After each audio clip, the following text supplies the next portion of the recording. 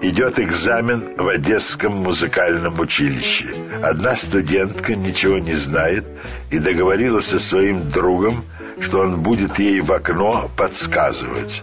Преподаватель профессор Шмуклер говорит, «Я буду сейчас играть отрывки из музыкальных произведений, а вы будете называть фамилию композитора». Начал играть, а парень ей в окно показывает лист. Она и говорит, «Композитор Лист».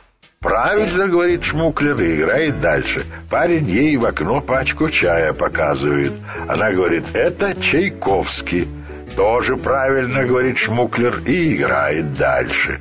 Студентка краснеет до корней волос и говорит, это композитор Херников. «Не Херников!» — кричит Шмуклер, «а Хренников! А вы, молодой человек в окне, уберите подсказку!» Начальник одесской тюрьмы вызвал канцелярию Рабиновича, который отсидел свой срок за мошенничество. «Рабинович, вы выходите на свободу», — сказал начальник тюрьмы. «Надеюсь, вы начнете честную жизнь». «Ах, господин начальник!» — вздохнул Рабинович. «Я уже не в том возрасте, когда пускаются на эксперименты».